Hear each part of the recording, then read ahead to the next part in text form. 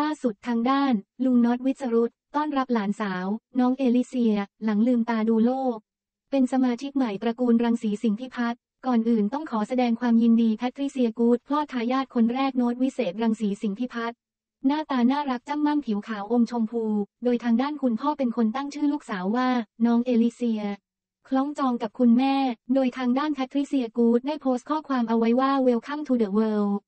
Alicia Our Sweet Baby Girl born on the 16th th of June at 38 week บวก2 day we are so grateful to hold you heavily in our arm น้องเอลิเซียมาแล้วค่าทุกคนนนป้าปาตั้งชื่อให้คล้องจองกับมามีเลย หนูเกิดวันที่ 16.06.66 ทำน้ำหนักได้ 3,160 กรัม แล้วตอนนี้หนูกินเก่งนอนเก่งสุดๆเลยค่ะ ล่าสุดทางด้านน็อตวิจรุตที่ชายโน้ตวิเศษต้อนรับสมาชิกใหม่รังสีสิงพิพัฒน์โดยทางด้านน็อต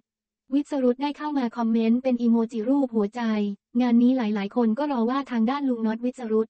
จะรับขวัญหลานยังไงจ้า